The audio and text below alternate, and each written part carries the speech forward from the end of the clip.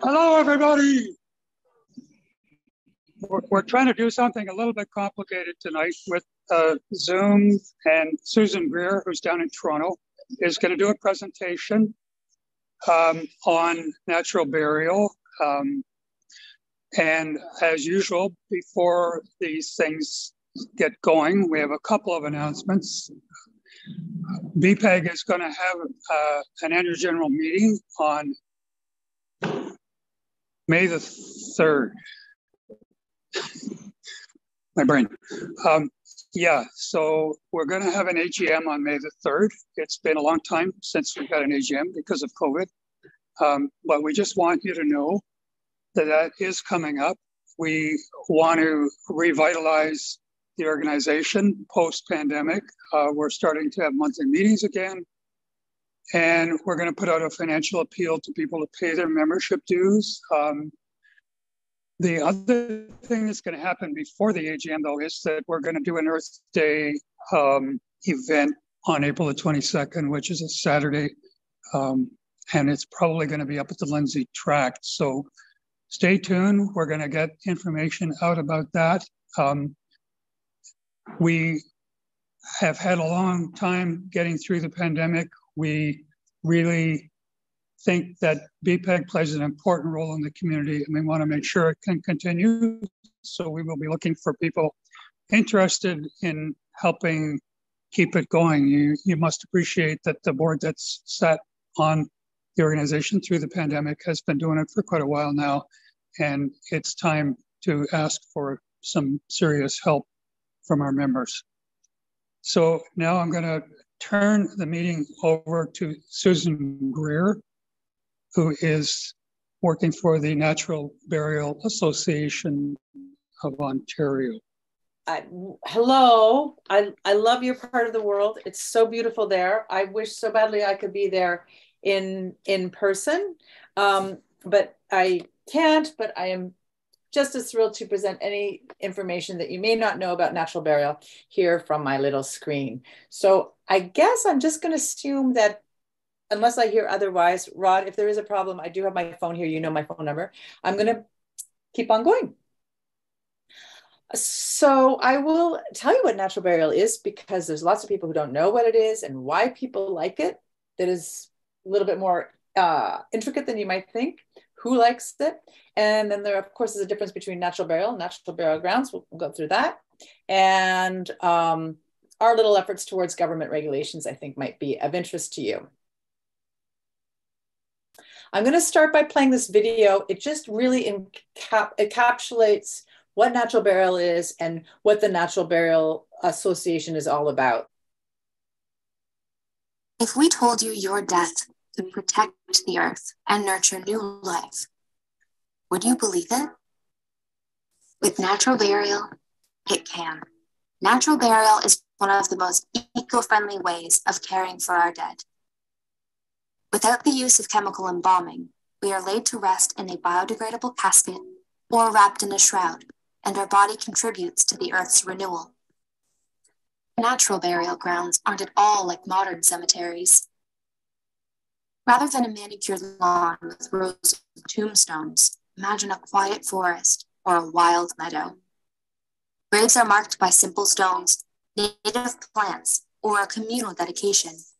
However commemorated, the location of every grave is recorded. The people who run natural burial grounds ensure the land is restored and protected in its natural ecosystem. Right, yeah. You might think, isn't cremation eco friendly? Not at all. The body is incinerated at about 800 degrees Celsius for two hours, and carbon dioxide is emitted into the atmosphere. You might worry that scavengers will dig us up. Oh, okay. We are buried too oh, deep for okay, scavengers. We feed the soil, not okay. the wildlife. Nor do we harm the water. Just like modern cemeteries, natural burial grounds are regulated. We're often asked if natural burial is legal. Absolutely. Before funerals became commercialized, natural burial was the way many of our ancestors cared for their dead. And to this day, several faiths uphold the tradition at natural burial grounds, we're invited to participate in the ceremony by laying the body to rest filling in the grave, and decorating it. One guest wrote, Everyone who attended has stated a desire to be buried here. The whole experience was perfect in every way. With nature as our teacher, being in its midst helps us see death as part of life. There is solace in knowing our loved one's last act is giving back to the earth. Today, there are hundreds of natural burial grounds worldwide, started by people with compassion for the planet and the families they serve. In Tennessee, Larkspur Conservation spans 112 acres of diverse forest and meadow. Every burial is an act of healing. In one of England's national parks is South Downs Natural Burial Site, where each grave is dug by hand to minimize environmental impact and to respect the area's tranquility. In BC, Catherine Valentine and Gavin Johnston created Salt Spring Island Natural Cemetery. As current stewards of the land, their mission is to restore the forest to one of giant Douglas firs. Salt Spring is Canada's only public natural burial ground that stands alone in nature, not attached to a modern cemetery. In Ontario, some cemeteries have sectioned off a natural burial area, but we believe our province is capable of bigger, wilder possibilities. Expansive sites that protect Ontario's beauty and offer people a final resting place in nature. The Natural Burial Association, a nonprofit organization independent of the funeral industry, aims to bring this option to Ontarians so we can choose to leave a legacy of nature. Please lend your voice, share this video, and follow us on social media.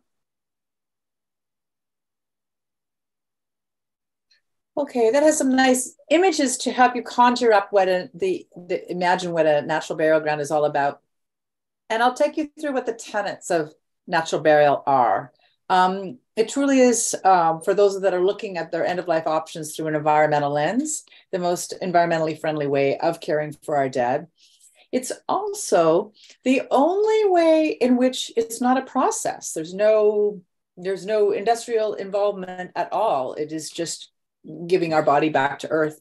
So the body is buried in a biodegradable casket or a shroud without embalming or without a vault or a grave liner. At a natural burial ground, the body is buried, um, it's, it's at a shallower depth.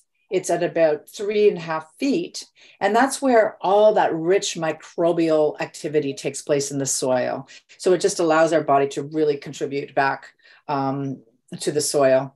And also in a natural burial ground, there's fewer plots per acre. So it just does, does less, harm, less harm to the environment. At a conventional cemetery, you can have about 1,200 um, burials in one acre. And so in a natural burial ground, it's like at least half of that, if not more, or if not less.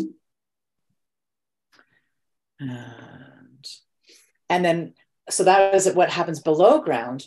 Above ground, the tombstones are replaced by a modest flat stone or a communal marker. And creativity inspires a whole bunch of other neat things that can take place at the natural burial grounds. There can be um, apiarists and their beehive, trails, bird watching, art classes. Um, uh, the little school kids come in and, pl- and plant the wildflower plugs.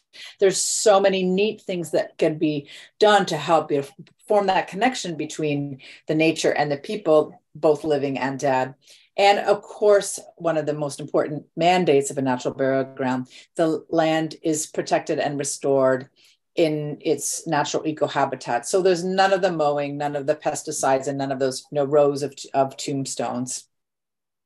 I should say that if uh, every cemetery is different, they all have their own bylaws. But if, an, let's say there's a natural burial ground and some of them don't um, have any memorial markers, one can always always find their loved one it's it's part of the law natural burial grounds follow the same law that any other um, cemetery does in ontario and using gps or a little uh, metal detector there's always a way of finding one's loved one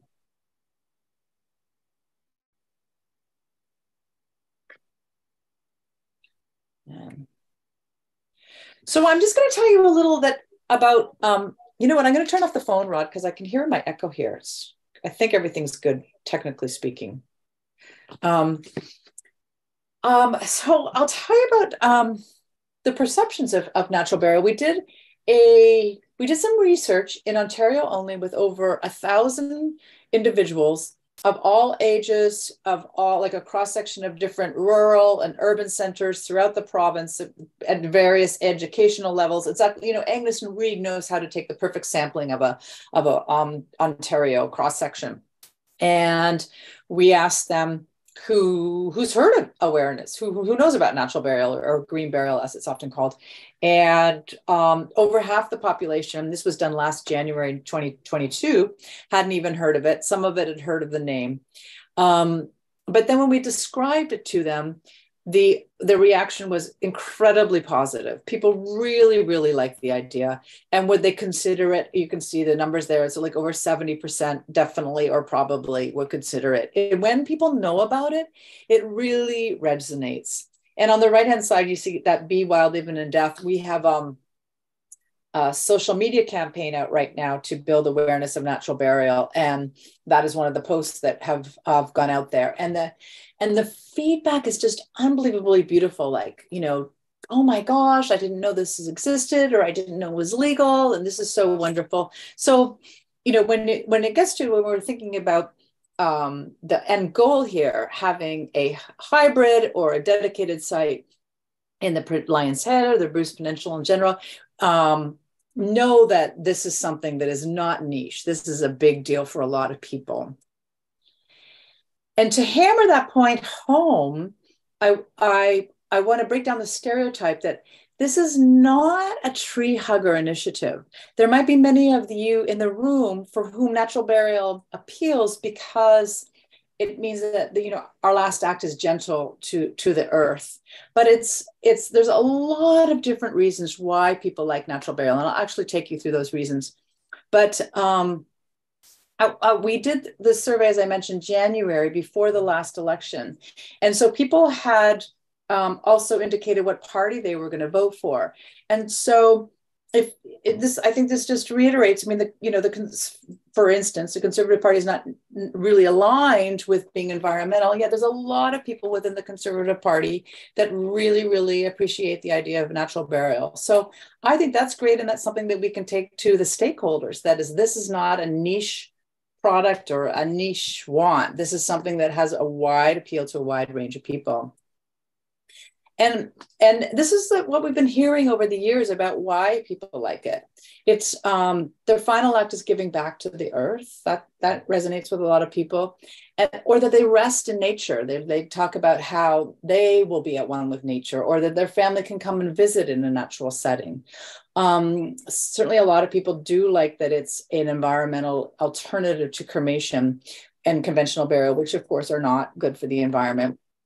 And, and for many, um, depending on their faith, their, their background, it is the tr- traditional approach. I mean, natural burials um, exist today for the Jewish and Muslim communities and um, were the way that there are many of us who would have had families that would have buried in this um, traditional way. It just in started in the Civil War, and then thing in the U.S. Civil War, and then things got um, more and more, um, if you want to say, advanced. And then there was an industry that formed to sort of take the care of the dad um, and the commercialization out of it, out of the home.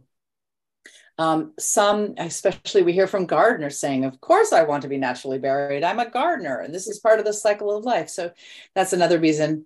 Um, and that our presence, when you opt to be buried in a natural burial ground, because of the rules with the cemeteries, it does mean that you are protecting nature in perpetuity. So some really like the idea that they're leaving a legacy for future generations. And of course, the last reason why people like it is it's simply not, it's natural and that they like that.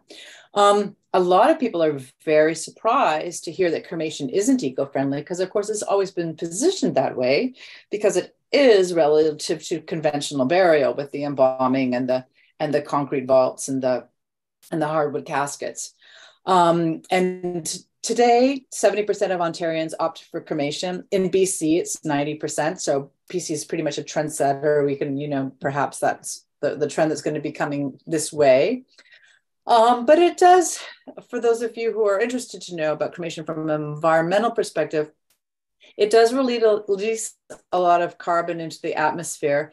And uh, the other there are other toxins that get into the atmosphere. There are some incinerators that might have a filter. It's a very very expensive filter. So like i think it's over a million dollars. So not a lot of the um, crematoriums have them, but if the incinerator has it, it can capture some of the toxics. But there's a lot. Certainly, the, the carbon gets up no matter what. Um, and um, and that also, when it comes to burying or scattering the um, cremated remains, it, it it is both too sweet and too salty for the earth. So it does it does hurt the soil and the foliage around it. Um, it's got a high alkaline pH level. Um, if there's any gardeners in the group of 11.8, it means nothing to you, and I'm told that's very, very high. Um, and the sodium content um, is also extremely high for the plant and the, tree roots. Um, when we talk about natural burial, we, we these are the questions, like the top questions that always surface, and I'll share them with you. Will natural burial poison the water? No, the pathogens die when we die. There are some exceptions like Ebola and I forget the official name for mad cow disease, but those are two diseases in which special care has to be taken. And it could be that one cannot have a, of a burial, but those are very rare. Um, and otherwise, diseases die when we do it. There's no transmission of any disease um, through the soil, through the water um, and and that is again you know we're not hearing stories about disease coming out of um, the natural burial grounds that exist today Jews, jewish cemeteries muslim cemeteries and then those people that also might not even know they're buried naturally but they opted not to be embalmed and they opted for a simple pine box they are in essence being buried naturally and are doing no damage. Scavengers will not eat us um, they are below the smell line. They're just they're just simply not not interested unless there's no evidence of any um, scavenger threats to the natural burial grounds. Um, and you know you have that wonderful advocate for natural burials, Stuart Burgess, in in your community. And we've got a conversation about winter burials before. This is something that is um, tricky. It's um, it's on our radar as the Natural Burial Association. There are some communities, and I think you're this is one of them. Um, Stuart, correct, correct, correct me if I'm wrong. I'm, I haven't seen Stuart, but I'm assuming he's there somewhere. Um, that um, there are some communities, or even you can have one community with two cemeteries, and one will offer winter burial and one won't. So it's not dictated on the winter. Thunder Bay offers um, natural offers um, burials 52 weeks of the year. So it can be done. It's just, it's an industry that's not too open to change. It might have some financial implications, but that's something we really want to do because you don't want for someone to really feel at comfort, at peace with their decision to ha- to want to go with natural burial. They die in January, and then there's that trauma for the family of not being able to have them buried, um, and, and at the time in which they would they would wish. Um, I spoke to it earlier, but even if there's no more marker on a natural burial ground, absolutely, you can always find out where your loved one is. There's various means to do that. Uh, people also ask about the price of a natural burial. All the prices are set by the individual cemetery. As a general rule, we usually indicate that um, natural burial is, of course, much less uh, expensive than a conventional burial, but um, may be more expensive than a uh, than a, a, cremation. It depends to how far the, the one has to go for a cremation. There are here's some lovely pictures of natural burial grounds around the world. All of these are natural burial grounds, even with the deer. Um, and there's just we just don't have them in Canada and you know in Ontario the way that we um, do in other parts of the world. And there are two kinds of natural burial grounds. I think today, as we get on uh, how we can help um, Bruce Peninsula Alliance Head, will speak more to hybrids. But from the video, you saw that there's two kinds of natural burial grounds. And the hybrids are those, it's a, it's a small section that's um, created within a conventional cemetery. They range from uh, the first one in Ontario was in Cobourg, and that was a quarter of an acre. And the biggest one now is in Niagara Falls, and that's two acres. And there's tons of them um, in the pipeline in the work. So there will be more. Um, the advantage to those is that it's nice that they can they can be in urban centers, and it also means that people can be buried clo- buried closer to their homes. The second kind of natural burial ground, you saw a lot of those in the video, is called a dedicated site. Those are usually created by people um, or organizations outside of the industry. They're people that it's really it's like a calling. They're looking at people, planet, and profit. The three P's is often spoken of in um, this kind of enterprise.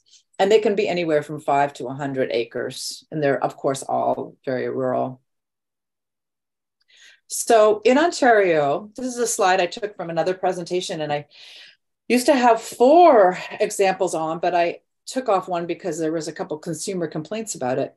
Um, but here's some examples of Willow's Rest. I just mentioned in Niagara Falls, they have the, the they have like the school groups come in and plant the wildflower plugs. They have um, a artisan who took a dead ash tree and carved a beautiful, beautiful bench out of it. Um, they have the apiaries. It's just very, very beautiful there. Um, Glenwood Cemetery in the middle, that's in Picton, and that's Ontario's only woodland uh, burial ground. It's beautiful. The day I went to visit, there was a deer staring at me. It was just stunningly beautiful. And it's really, really hard to see where the burials are. It's a very small, discreet um, metal marker. You, you wouldn't even see them. And there's families that are coming as far as Ottawa to, to be buried in Picton. And um, my understanding is that it's almost near full, but Union Cemetery in Cobourg it's small, but it, if you feel like you're at one with nature, because behind it is um, a creek and a um, conservation burial ground, so it it feels more like you're in nature than um, a quarter of an acre would lead you to believe. And there, the, the, it's a father son team that run the cemetery, and they dig the graves by hand. They pull out the invasive species by hand. It's very very beautiful. But there's so many now; it really is taking off. And so, to get a list of the hybrids and um, what's in the works, I really encourage you to go to our website and uh, you'll see the page on Ontario and you'll see all the listings there. Um, I will show because it's so beautiful.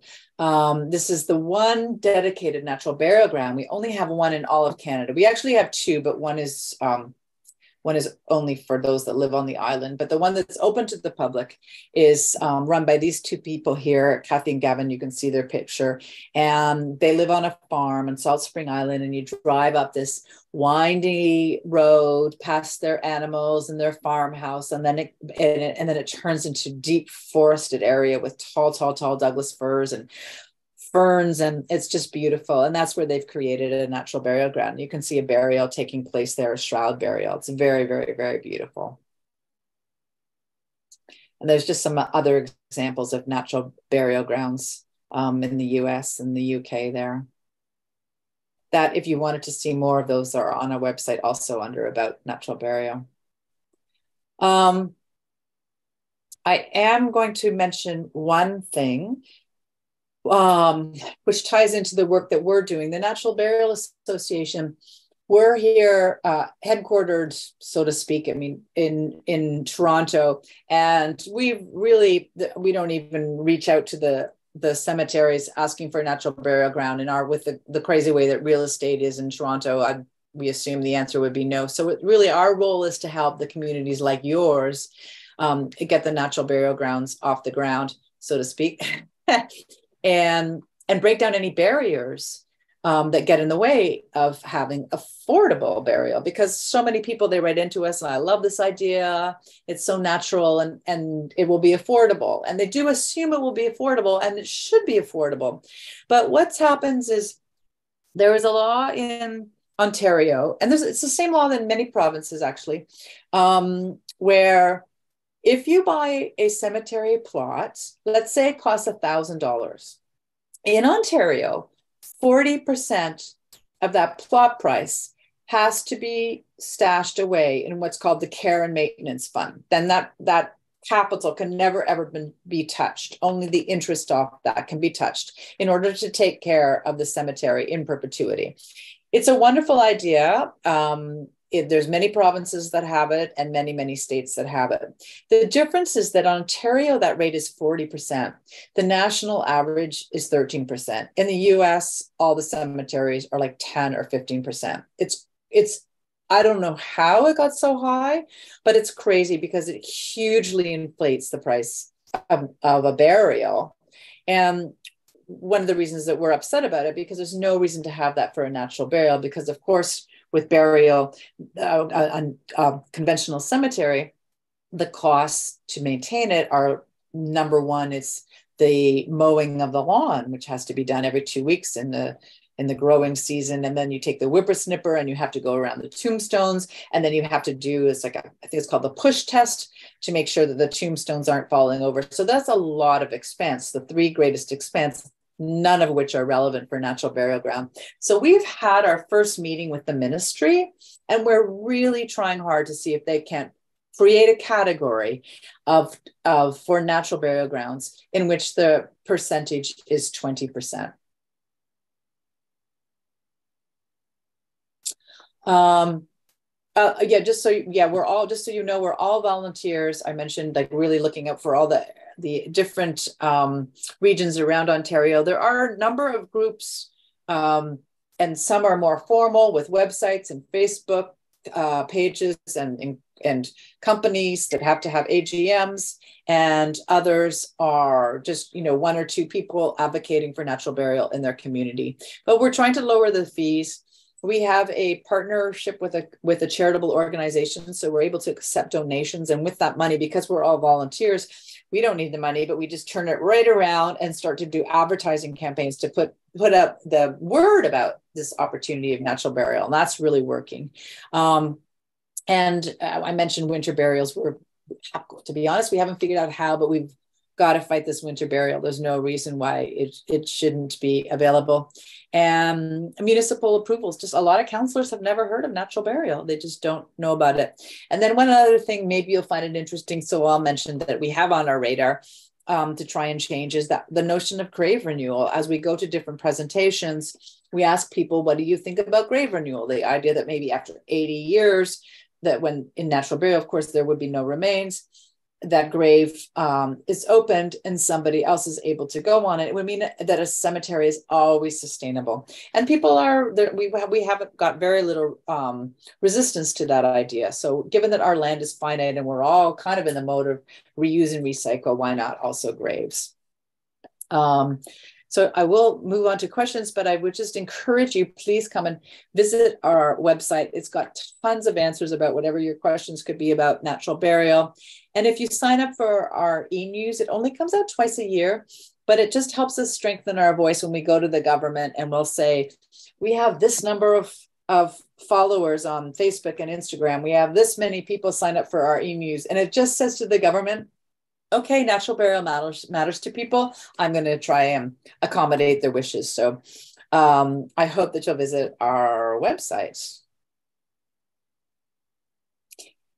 So um, I hope that I'm able to talk with you. It'd be hard if I can't, but I would took a stab at, at um, you know, thinking about what would be the next steps for Lion's Head, and this is tricky.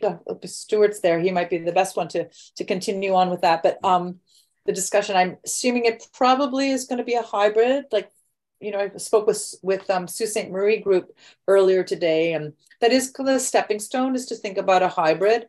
Um, and and the steps would be for those that are interested you know form a group fo- form natural burial line group of lions head or of bruce peninsula.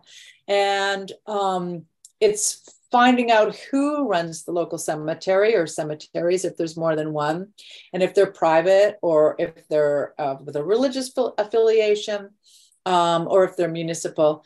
If they're municipal then probably easier you can get the counselors involved. And then and then certainly I can help you provide the ammunition to say what natural burial is and why it's why it's so in demand and how it will benefit the community. And then I'll also keep this issue of winter burials um, on the radar. But you know for instance there's a local advocacy group in sarnia and there's a woman that runs a cemetery there. I believe it's private. And she's just like, no, I'm not interested in this. I'm not going to do it. I'm going to retire in a couple of years and then somebody else can do it. So, so it's a question of figuring out who can be the champions for the cause in your community and then just chipping away at all of the barriers so that it's made possible.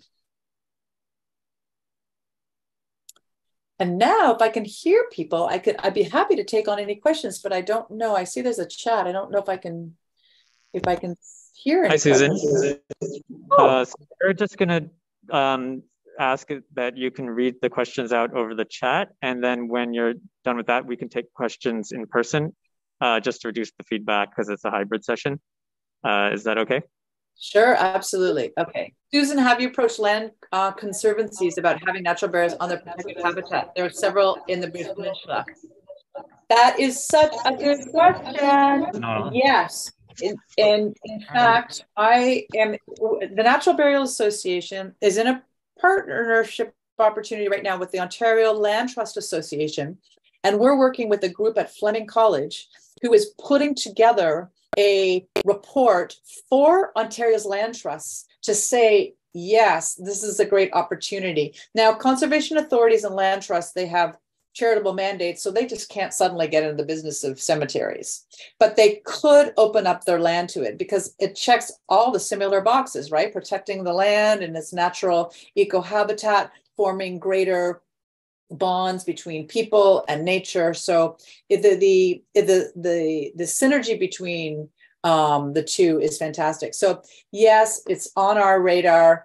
And if you in your community have land trusts that you think would be interested in this, absolutely reach out to them, make sure that they're aware of this. Um, and they're not going to run the cemetery, but there could be a partnership. And within a couple months, we'll have the report so that all their questions could be answered. How, what kind of, um, what are the pros and cons of what is done to the land? What are the financial opportunities for them? Because the land trusts, of course, need to know that, that, that they'll have income. Um, so that's all there is that the that might be the only question oh, somebody's asking ontario land trust so the association is called ontario land trust association olta um, I suspect the trusts here are members of this umbrella group. Yes, I, it's got hundreds and hundreds of members. So I would think it's across the province. Everybody's a member of um, uh, OLTA. So those are the questions in the chat. Um, I would like to say a huge thank you to Stuart Burgess, who has been working away at bringing a natural burial to your community for many years. I think as soon as I started this, um, he he was you know one of the first people that I that I came across. So um, yay, Stuart. My question had to do with uh, having uh, had a look at uh, the website of Natural Burial that they hand dug everything. Now uh, so our question was, how do you dig in a forest, which has, if you've ever even tried to transplant a tree this big in the forest, it's very difficult to dig through the roots because there's multiple roots, multiple species. And uh, so there seemed to be a contradiction what was said in Natural Burial website versus the answer we got, at least I got, or the one sitting close to the phone got, which is that they do use larger machines. So I think that question needs to be sorted out because large machines is spilling oil, spilling gas, spilling, bringing weeds from all over the last Believe me, just a well driller comes in, they're going to make a mess because there's all kinds of weeds that come in. So that was my question. Thank you. Right. Okay. I think it was it was a little bit convoluted, but I think I got it. Um, and in our, if it was our website, I think we might have like we don't say that one of the principles of natural burial is that the graves are hand dug. You might have seen in the where we talk about the various natural burial grounds that exist. I might have you you would read about say the one in Cobourg where they do hand dig, but we assume in Ontario that the majority, if not like 99% of all the um, cemeteries are going to require a backhoe. Um, so that is the first question. The second question was about um, the uh, having a natural cemetery in a forest, which appeals to so many people. And as I mentioned earlier, it does exist in the woodland cemetery at um, the hybrid in Picton, Ontario. It means that the plots per acre are very, very minimal. I don't know, but they don't actually have a whole acre in Picton, so I couldn't say anyway. But they they um, went through and they got like looked at the tree system and then just plotted out where the plots could be in in respect to the distance from any tree in its root system. So they are more spare sparse. Um, and the reality is that if you're going to get a natural burial ground going, hybrid or otherwise, in the Bruce Peninsula, it would be a lot smarter to to look for a meadowed area rather than woodland. Something that just came to mind actually because um, we were talking about land trusts earlier is the um, Escarpment Biosphere Conservancy. They're they're, they're, they're very keen on natural burial. So I'm just curious about if you did want to make a cemetery in a new place, where do you get the information about all the hoops you have to jump through in order to do that? Do you know? Oh, wow. Yes. And um, I mean, we have one preliminary page on our website on the resources page that just presents a big picture of what needs to be done. Um, the truth is, it's not for the faint of heart. It's very complicated. First of all, you have to look at zoning. You have to look at the um, the water table, as you can imagine, is very important in cemeteries, and and there's hydrology studies that are involved. There was a lot of money that it would be involved, even if the land is donated, getting the infrastructure together. Um, so it's a, and then the way that cemeteries are approved um, aside from the obvious things like one would need a cemetery license, that kind of thing, is that it starts with the municipality and they have to give their approval. And that is um, done, uh, if it's rezoning, then the, the council, all the councilors are involved. But if it's not rezoning, and it, then it's then it goes to the medical officer and he or she has to look at it from the, in terms of safety, that it's not too close to any body of water um, or that it's affecting the water table.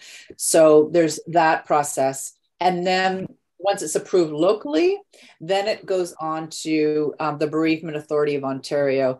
Um, Ontario happens to be the only province and I believe state in all of North America that has a regulatory body just for funerals and cemeteries. So it's, um, I mean, it's pretty, it's really bureaucratic. I mean, this whole thing has kind of taught me how when it comes to starting a cemetery um, you know ontario is not a place of business. It's not it's very very difficult to get it going. There's everything in place to protect the status quo and, and a lot of barriers there to be honest.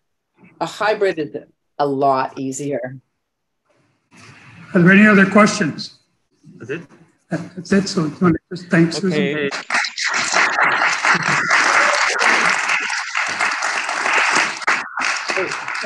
All right. Happy to answer any questions. Take care, everybody, and good luck. It is worth it. People will love the idea. It's a beautiful, beautiful thing. Beautiful thing. And it's great that if you have some land trusts, reach out to the land trust because that could be good too. Great, thank you. Uh, hi. So, um, about three years ago, uh, like 80%, 75, 80 of Ontario people, I thought I would be cremated because then I wouldn't be taking up any room and, uh, you know, it's probably a better way to go. I speak louder, okay? And uh, then I started finding out about what happens in cremation and how much fuel is actually used to get the temperature that's needed to burn the body up and also found out that not only are carbon toxins going into the air, but people who have had replacement parts in their body, like hip replacements, uh, what have you, those get ignited too, and so there's other toxic fumes that go into the air. Recently, I read that if you have a pacemaker, it has to be surgically removed before it can be cremated because the batteries can explode and damage the facility or the people that are working there. So it's definitely not uh, an equal kind of way to go. So then I thought about, well, I'll get buried then.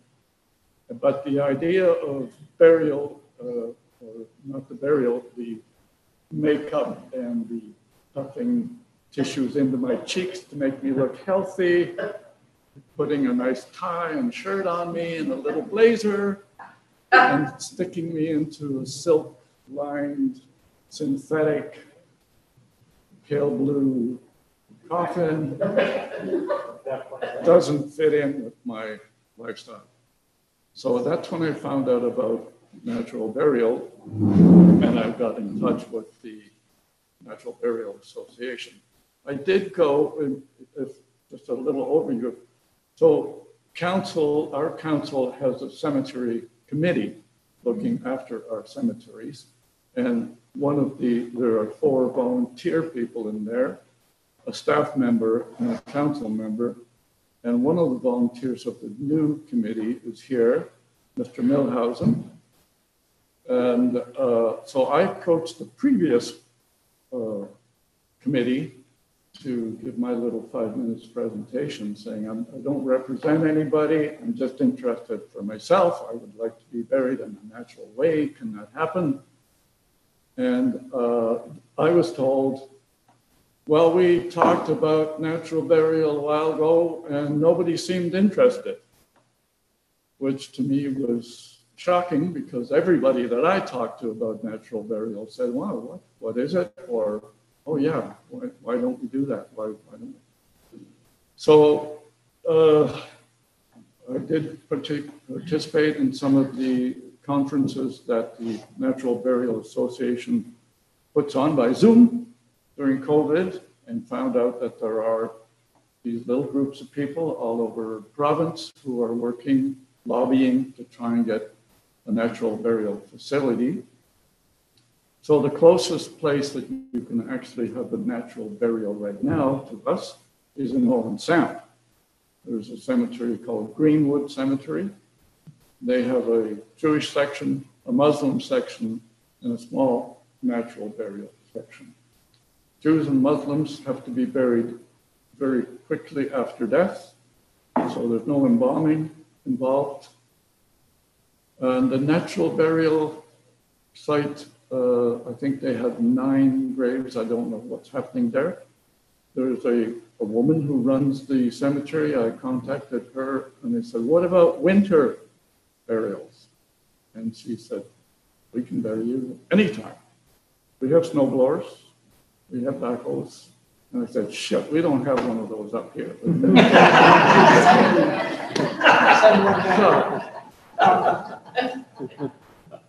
so, uh, I thought, why don't we lobby and see if we can get something happening here? So during my bits of research, I found out in Canada, in Ontario, there are several that are hybrid uh, cemeteries. In Denman Island, which was not referred to here, they referred to Salt Spring Island. Denman Island has a new cemetery being developed, and it's going to have 1,000 sites. Two young women have designed it. It's pretty neat. Uh, they don't want equipment driving over graves. So what they do is they arrange it in a kind of rows, and the outside ones get filled up first so that equipment can go over the other sites, and they progressively fill in. One of the other things that I decided to do after consultation with some of my friends is uh, get a survey organized, which we put on social media and we also put in the newspaper. And uh, Stephen Waller put it, uh, put it together through uh, Survey Monkey. And uh, we just got the results. The, the survey ended yesterday. And 161 people submitted the survey. And I, I won't do all the details of it. Let's just say, would you like to see one of the questions? Would you like to see a natural burial as an option in Bruce Peninsula? 94.8% of those people said yes. Hear me, Mr. Milhouse? that was 146 people. So that, that's an indication that there is certainly an interest in something happening here. What we need to do next is have a natural burial group. We're going to be investigating and lobbying a bit more of what we have here, because I personally don't know how many how many sites, how many more people can be buried on, on the Bruce Peninsula in the existing cemetery. I, I really have no idea. Can they expand? They can appropriate that. They They can appropriate. They can appropriate. Okay. Well, that may be what's needed because, uh, who knows, uh, uh, again, um, seventy-five percent of the people who filled out the survey are over the age of fifty-five. Uh, forty-eight percent were over sixty-five, we didn't have over seventy-five, so I, I slipped in between the cracks. So that's a large portion, we know, we all know that, of people who live here who are senior. So, uh, I don't know what we're gonna do. Uh, I'm open to being involved for sure. And if anybody wants to come and see me afterwards and say, well, I'd like to, sure, let's, let's see what we can do, but what's the next step? And we'll take it from there. As a little aside, this has always been a very sort of delicate topic, talking about death and dying. And uh, it's something that, as a society, I think we have to work on. And my friend, Matthew Dick, is trying to organize a death cafe.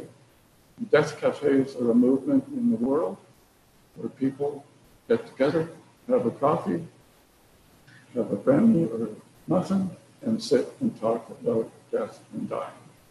Because we, we should be celebrating death as we celebrate birth. It's not a big deal. We owe, we owe the planet one death. That's all we have to do. Taxes and death. Can't get away from. And so that's it for me.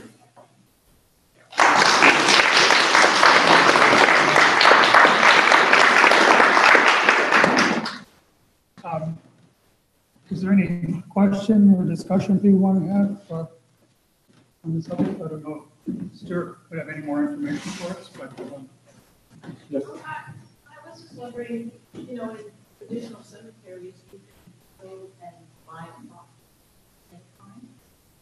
Is that what happens? Yeah, that can, that can, that can happen in, in a hybrid cemetery and a natural burial site. If, I mean, these are, these are things that have to be worked out. This is all sort of new, even though it's really old. And uh, I was talking to Jenna. I mean, there are hundreds, hundreds of natural burial places up here because First Nations people all buried naturally. Early pioneers were all buried naturally. Uh, Jenna knows more about some of the sites that are up here that are children's cemeteries. Uh, they're not necessarily marked, are they? Um, some of them are not, and some of them are marked very subtly. So, yeah, I mean, the, the, the details, the planning, uh, I told you about the place in Owen Sound, well, the, the group there has actually gone to council and council hired an architect and they've actually got it now, the design that will be an expansive, more expansive kind of natural burial site. And Mary, uh, every cemetery has its own uh, rules and regulations, shall we say, so they all can be a little bit different. I mean, if you're, if you're interested in Greenwood, the best thing would be to get in touch with them and just ask them what, what's going on there. Uh, Stuart, did you, in looking into this, did you run into the idea of, of composting. Yep. And uh, can you talk a little bit about what you thought of that versus what's being proposed by natural burial? Because it is a sense of natural burial, but it, if I understood it correctly, it requires much more infrastructure, which natural burial avoids. But I'm not sure what happens to the remains after composting, which was usually wood chips, I thought. Well, think the only composting facility is in Oregon or California, you know, California people. And it's a young woman who uh, organized it. And it is a building and you go in the top and Yeah. you are, Recycled. yeah, and all the way down. And when you come to the bottom, it's a tray full of compost that can be sprinkled around. Uh, Mr. Milhausen is, is a farmer and farmers compost uh, wastes that uh, die. uh, That's how they're looked after. Takes nine months to doc- to decompose a cow, including all the bones, right? Yeah. But I'm wondering if uh, you could combine the two, or if there's any work done on combining the two ideas, composting and natural burial, Mhm. because to me, they both have distinct advantages. And by coming together, you can, Yeah, I'm wondering if you could. There's- create- Did you come across the mycelium casket? I read something about that. Mushroom caskets. Uh-huh. yeah, mushroom caskets, yeah. There's uh, woven baskets. uh, There, you can even be buried in a cardboard box. Uh, They're making cardboard caskets. Uh, The ideal casket has no nails in it. That you use dowels? Dowels Dowel, are a good way of yeah, putting yeah, it. there's, there's all, all those things can be worked out, and, and same with winter burials, as far as I'm concerned. I, I don't understand why we can't dig a hole in the summertime. And fill it with wood chips or whatever and dig them out when somebody dies. I mean, there's ways around things.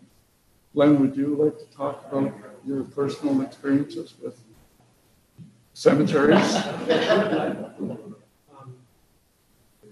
O- Only that my, uh, my brother lives in North Carolina and had this as a challenge. The way he got around all the paperwork is churches can do whatever they want. And of course, you don't really have to say what, you know. Your spiritual philosophy. Your spiritual philosophy, because of freedom of religion in the US. So they basically set up a little church. put in- I think they have nine graves now, just on little farms. This would bring a lot of people back to church. Well, the other thing is, he he told me once that that because he's a church, he can accept donations. Something like that.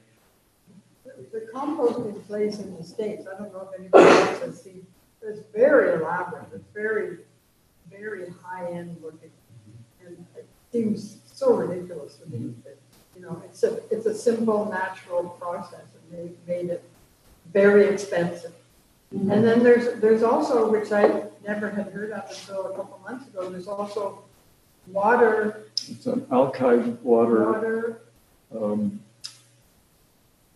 what, what's, Uh, hydrolysis. no, no, no. well, it's like that, it's, Oh, like it's an like a alkaline. cremation. It's a Water cremation, but- but with, with Water water.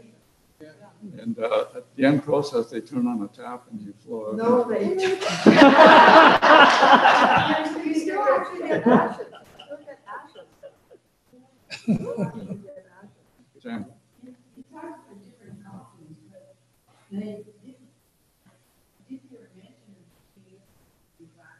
of shrouds, yeah, yeah. Is that, that's that happening with her Ontario? Yeah, Oh, I uh, I don't know, but yeah, I think so. I I think so. Mean, I, I remember being told, you know, that if, if our son wasn't buried in Scotland, that it was considered an Like I. Yeah. I remember this. That's what the cemetery And was I was, I was shocked at how many, uh, things stood in the way Yeah, of doing something Yeah. And so, or even getting it one day. Well, be- because it's an industry now, I was talking to a friend of mine last week. And he said, uh, when his father died, he and his brother went to the funeral parlor. to look for coffins. And they looked around in a big selection of coffins. And there was a plain wooden one for $1,600. And the manager of the facility said, but it's your dad. Do you have anything less?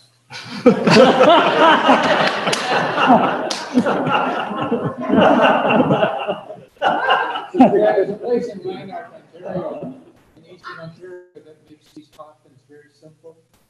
I don't know what kind of fasteners they use, but Mhm. yeah, I think it's mentioned in the web- website. Yeah. There's someone here. Yes, Ken? One, um, I've been like really interested to see this come to our region for a very long time because, um, it makes sense in a way. But one thing that's, I think I have a really selfish, uh, concern about it in that because green burials are so rare currently in Ontario, um, and because is an industry, I have concerns that one thing we should think about as we proceed forward is the how can I say this? I feel like the plots can get sold out real quickly by people not on the side. If that makes sense, because, you know, like, folks say, I think there's one in, uh, Woodlawn Cemetery in Guelph as well. And so I was thinking, like, there'd be people like me researching this and be like, oh, well, all I can do is Guelph, I guess I'll buy there. Mhm. But I'm not from there, so I'm kind of interested in like commodification Yeah. of green cemeteries, because of rare they are, and protecting ourselves from that industry part of it, which is maybe how if the municipality was doing it, that might be one of the, Mhm. the methods around that. But that's just something I wanted to mention that I wasn't concerned about is, I don't want, because they're so rare, I don't want us having them become a, a new kind of tourism destination. Well, the financial, people are dying to get there. Yeah. Well, that, that way the, the, the council can make sure your taxes were paid. Well, yeah, and I'm not sure what, like, what policy can happen is control, but I guess I just sort of thought, man, I can see if we open one, it's billing, and they're still, it's still not being accessible because of how desirable they are, how rare they are in Ontario. Maybe, yeah. Yeah. Or there's, I don't know, but I, that's something that's always of worried me about it is it becoming a different issue, um, from a commodity. Yeah. yeah. Any other? Stuart, Yeah. I'm just curious as to how much land you would need to bury a hundred people. Like, if you were creating your own natural burial as opposed to being a part of an existing one. Well, I'm not positive, but, uh, I, I have looked at some sites where, uh, place in the US.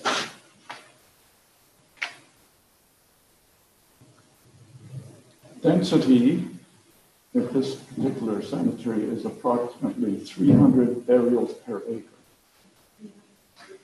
As opposed to one thousand in a traditional village. And the, the thing about you know, burying in the forest and, and she advised on a meadow, but you can turn that meadow into a forest. Yeah. Just simply Yeah. planting trees different. Well, thi- this, this particular um, cemetery in uh, Vermont, uh, they, they allow the family to plant uh, one tree, one shrub, and wildflowers. It has to be indigenous, it has to be from the area, nothing, nothing is imported. Uh, And what they do is, um, each plot is six feet by 12 feet the hole going somewhere in the middle. And then they, they take them four feet deep. They're not as deep as like six feet under. And they put um, wood chips um, or leaves or grass clippings, anything organic to sort of stimulate and oxygenate the area.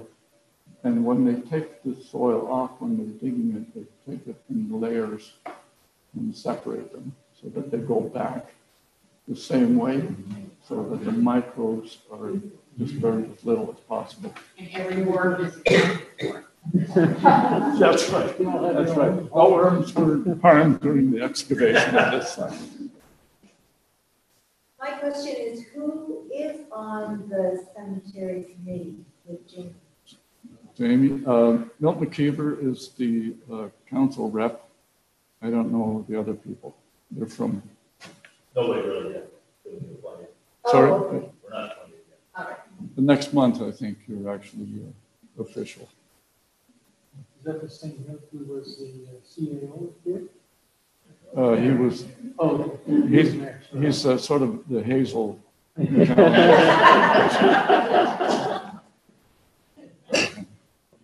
My question is probably best directed to a funeral director. I wonder if there's anybody from the funeral director's office here tonight, but the question I had was that I have already prepaid for my last expenses, and they include cremation.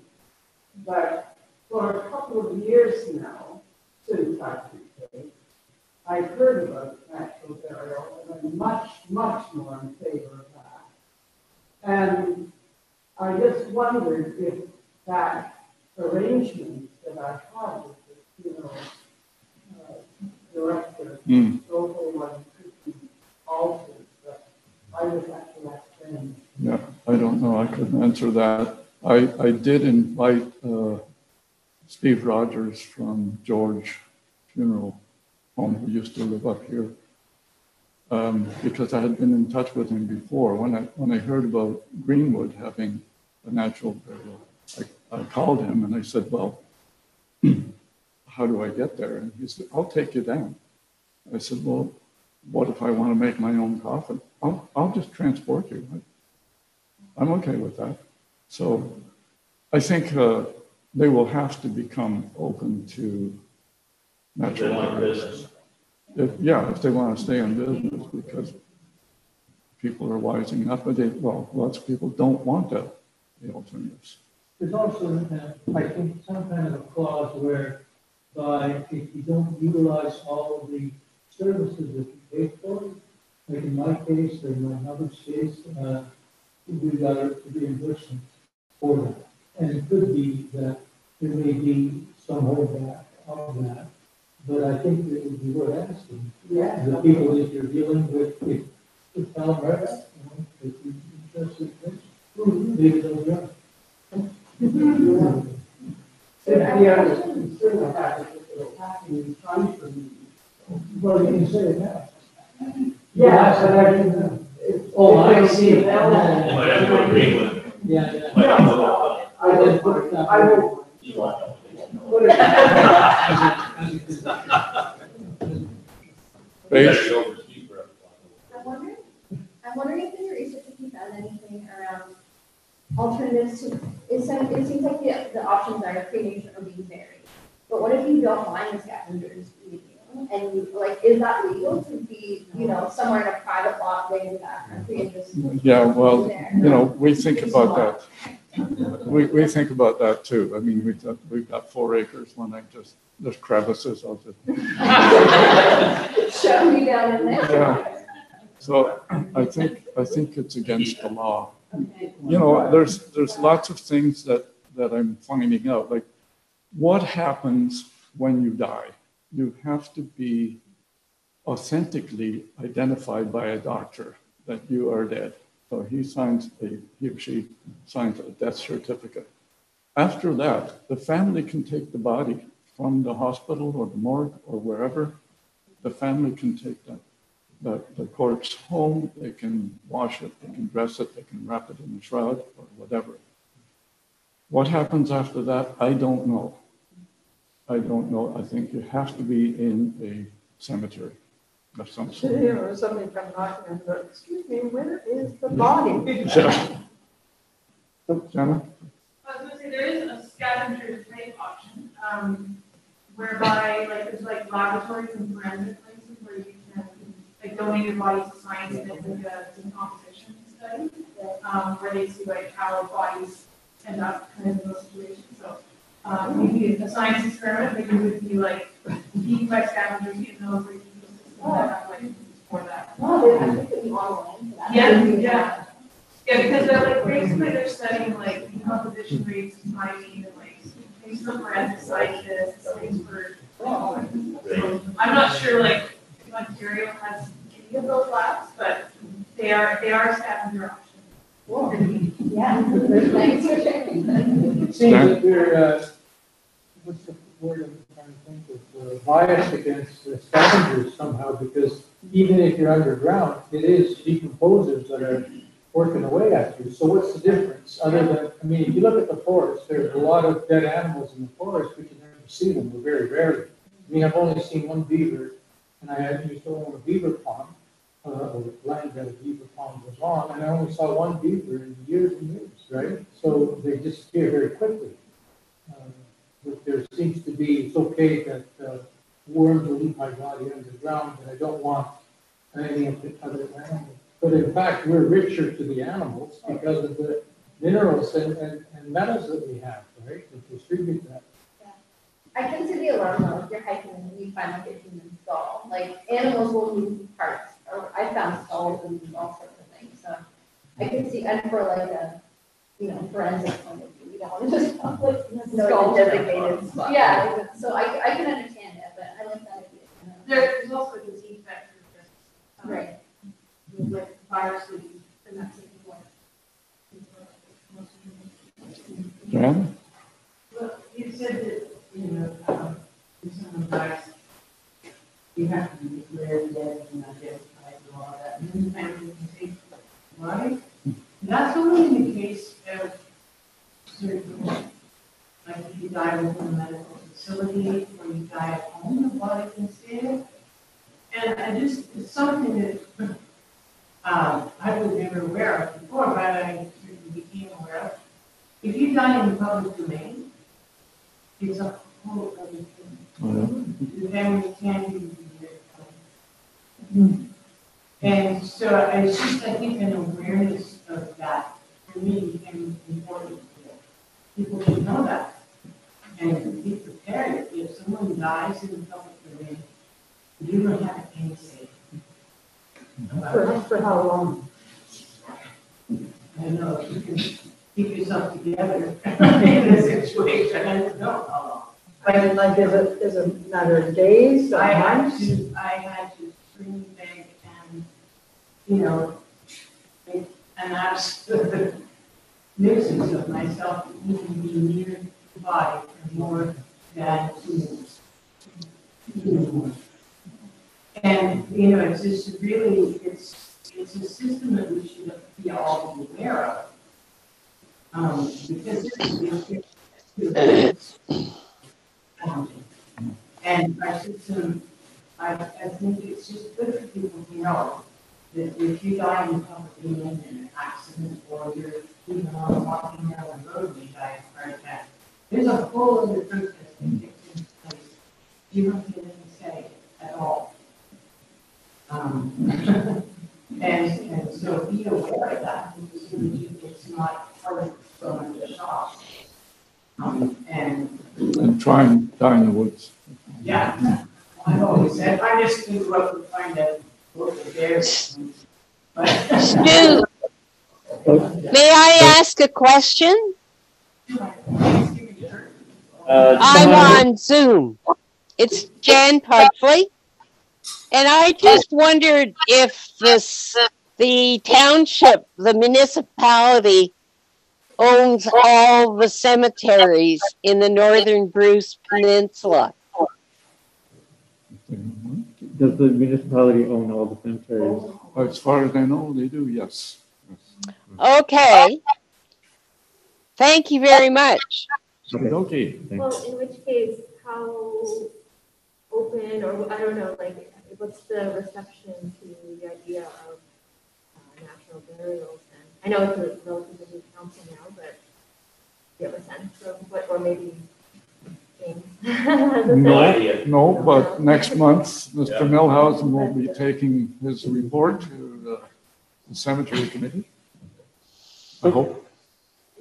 I probably missed some of the challenges of how it is to set it up, but what's to stop us from just rezoning any property or just part of, or even just allowing you to designate an area of your property a cemetery.